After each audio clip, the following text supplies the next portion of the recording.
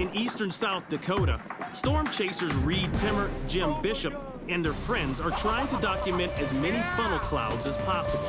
Joel, what do you think about this weather situation today? It's a little too close to home. You've got to be kidding me!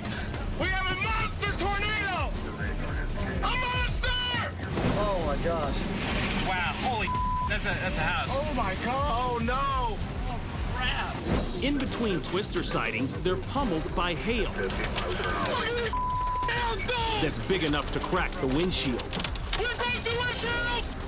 Look at those hailstones! A house located behind some trees is buffeted like confetti. Oh, oh! Oh, that! Whoa! Did you see that? Oh, not good, not good. Oh my god, not good. This thing is intense. As they enter the small town of Manchester, the group witnesses a massive tornado forming. It soon grows into a Category F4 storm. An F4 is extremely rare, accounting for about 1% of all recorded tornadoes. There's the vortex! Oh wow. The vortex of an F4 produces winds in excess of 250 miles per hour, Uh, This guy's getting big. and this one's more than a half a mile wide. Hey, This is gonna be the, some of the best footage of all time. In their excitement, the storm chasers have ventured too close to the giant twister. We'll be okay, Alex. I can tell you right now, we're fine. Just look at the meteorological beauty. We're okay. We're okay. Pull back. No, we can't.